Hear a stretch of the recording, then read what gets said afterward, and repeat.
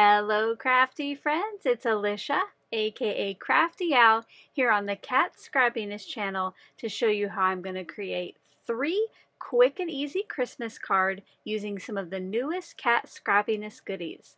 I hope you'll stick around and see what I'm going to create.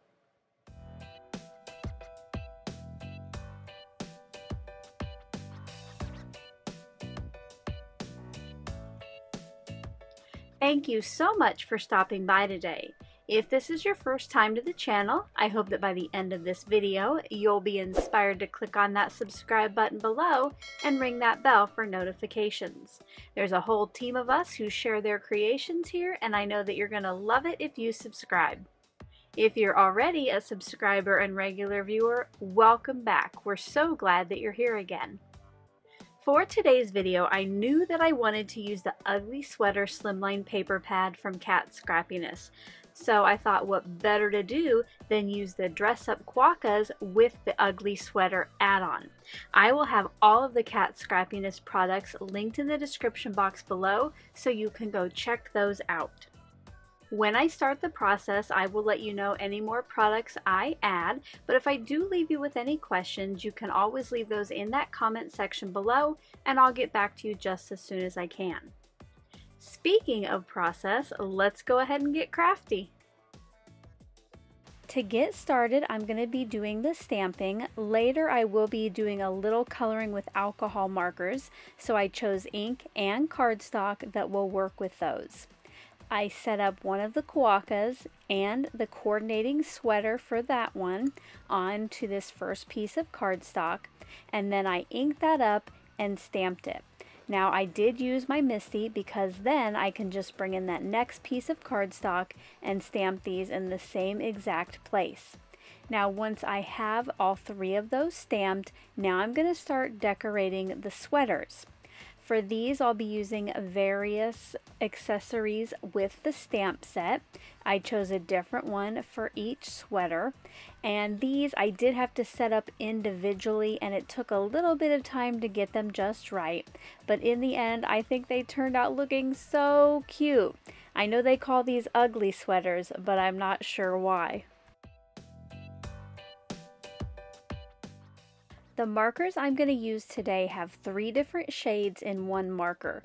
So I chose a brown for the body of my quokka, a light pink for its ears, and kind of a brownish gray for its nose.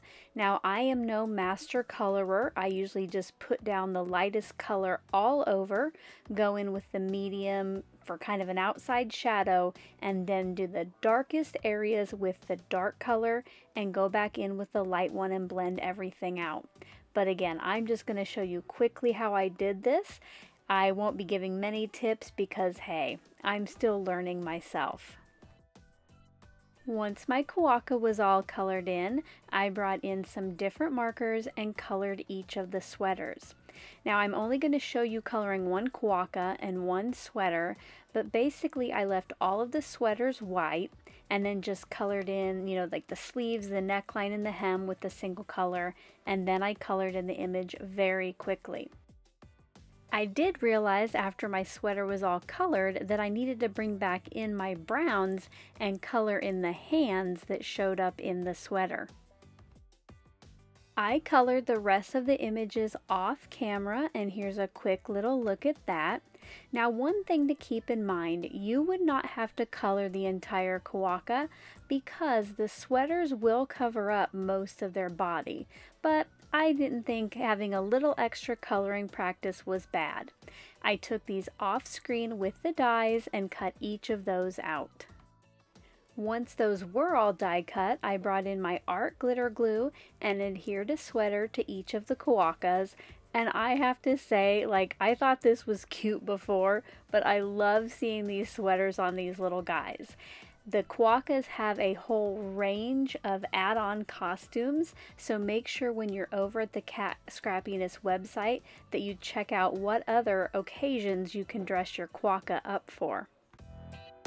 While those were drying, I brought in the three pieces of pattern paper that I chose from the package, and I will be using the November 2021 sheet load of cards for the layout today. So over there on the right, I do give the dimensions for a single card. That's what I'll be using. And if you want to download this free printable for yourself, I will link my video in that description box below.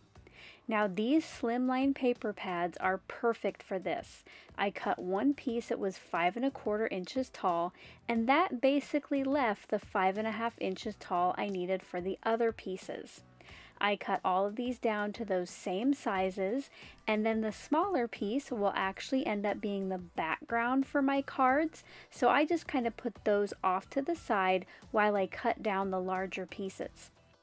The remaining pieces got cut into two strips that were two inches wide, which this was for, so it's perfect. I left the first one as is, and then I cut the second piece to three inches tall. Now originally on the sketch, that three inch tall piece covered up an opening between a one inch and a two inch, but because of the size of this slimline paper pad, I could get both of those and I won't have to cover up any holes. I continued cutting until all of the pattern papers were ready to go. I brought in the 5x7 stitched rectangles die set from Kat Scrappiness and I used that smallest one and some scraps of off-white cardstock to get three pieces that later my quokkas will stand on. Off camera, I did cut and fold my card bases and cut the cardstock mats for the smaller pattern papers. Up on screen now, I'm just showing you how I put together one of the cards. If you are interested in seeing the full process, you can always check out my YouTube channel, which is linked in the description box below.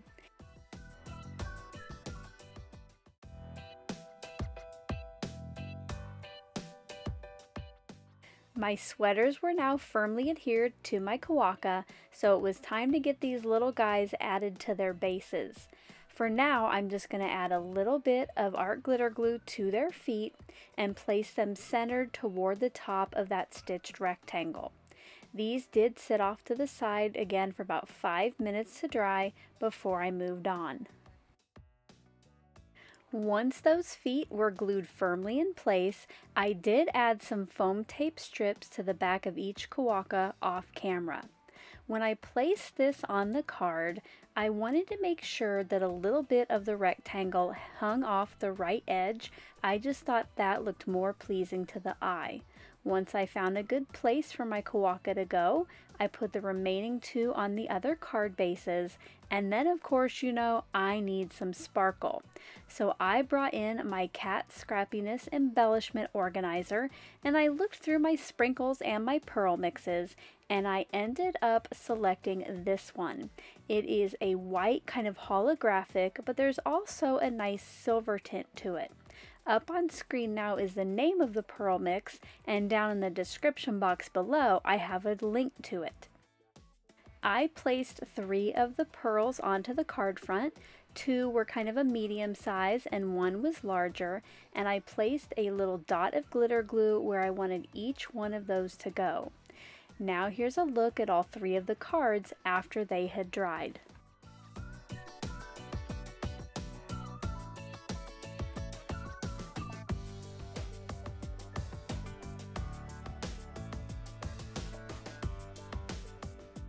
I hope you enjoyed seeing how I put together today's cards. If you did, as always, a thumbs up is appreciated, and until the next video, I hope you're all having a crafty day. Bye-bye. Thank you so much for taking the time to watch all the way to the end of the video.